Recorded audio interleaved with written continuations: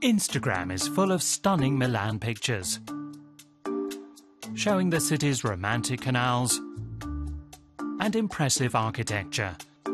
But is Milan really as beautiful as Instagram suggests? And which three places are actually worth visiting? Time for a reality check.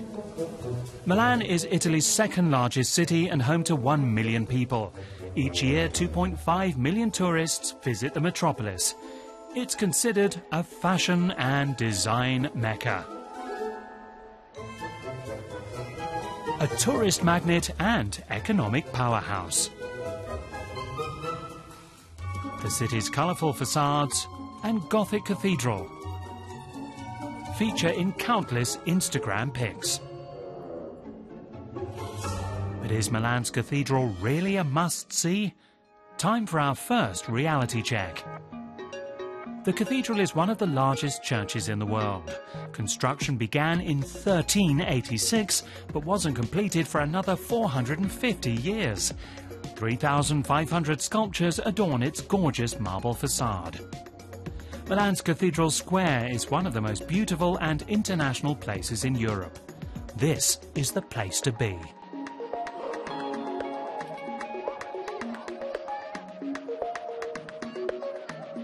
Where do you come from?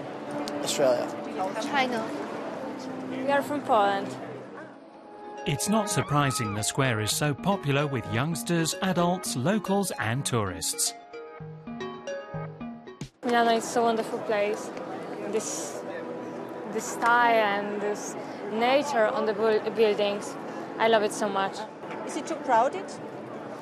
A little bit, but uh, in Roma it was uh, worse. I think it's very beautiful. It's better than Rome, better than Florence.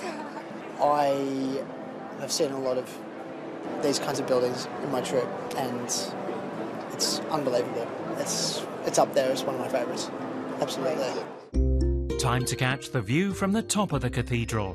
But first, we need to climb 164 steps to reach the roof terrace.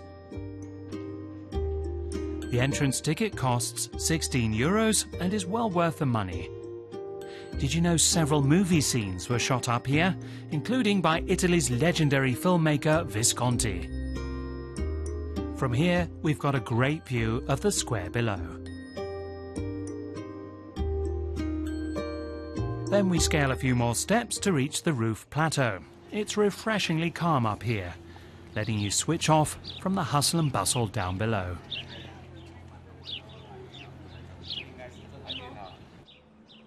And the view is breathtaking. Weather permitting, you can see almost as far as the Alps. Next, we head back down into the cathedral itself. Admission is included in the ticket price. The edifice is supposedly large enough to hold 35,000 people. But visitors must dress modestly. Bare shoulders, hot pants, and the like are not allowed. That's why large cloths are sold outside for covering up. Inside, there's always renovation work going on. Even so, Milan Cathedral definitely lives up to the Instagram hype. Milan's Vittorio Emanuele II shopping arcade is also huge on Instagram. But how does it hold up in our reality check? The arcade opened in 1864 and it's popular with Milan's high society.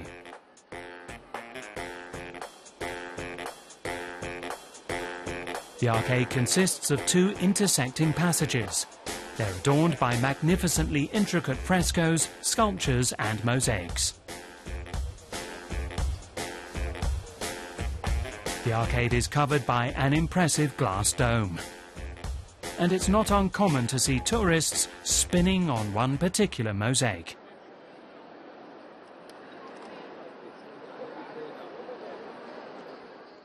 Just heard someone say by stepping on on your heel and you turn around, it give you good luck. Will Good give you luck. good luck. Apart from that, the arcade is perfect for snapping some fancy pictures. And shopping, of course. So, what's popular with buyers? Uh, this is big. Ah, can, can we This- have a look? Ah, big. Oh, big. bag. Yeah. No, back, No, back. no. Because we don't have uh, this uh, shop in Moscow, yes. Okay. Oh yes, three bags. It's uh, cheaper than China. China. Yes. It's mostly luxury items on sale here, which won't be everyone's cup of tea. But having a look around the arcade is definitely a must. Besides, it's fairly small, so exploring it won't take long. And treat yourself to an ice cream from the famous Savini Coffee House. È un gelato al pistacchio buonissimo, tipicamente italiano perché è fatto con del latte, dei pistacchi di Bronte tipici.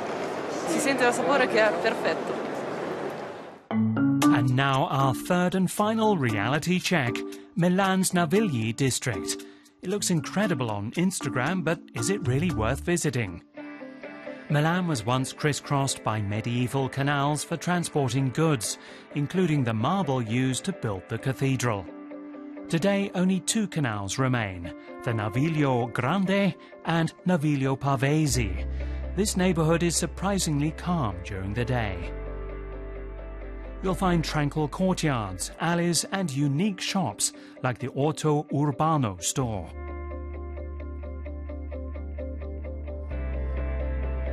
Navigli has transformed over the past few years.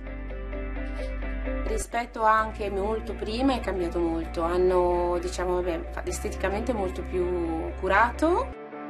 As evening approaches, Navigli comes to life. The tranquil neighborhood transforms into a vibrant nightlife hotspot.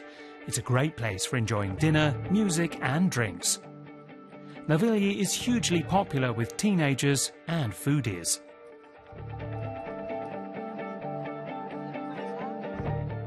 Allora, i navigli sicuramente sono cambiati negli ultimi anni, Eh, diciamo che sicuramente la, la- la ristorazione è cambiata, oggi Milano è diventata una delle capitali a livello di ristorazione e soprattutto sui navigli diciamo, si respira quest'area di eh, cambiamento, di ristorazione. Vi consiglio un giro sui navigli. eh.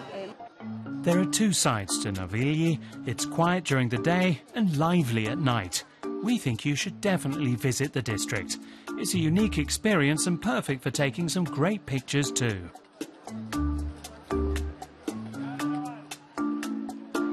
Galleria Vittorio Emanuele II, on the other hand, is only worth a visit if you have lots of money or want to sample some tasty pistachio ice cream. Definitely don't miss out on visiting Milan Cathedral Roof Terrace. The views from up here are magnificent, provided the weather is good.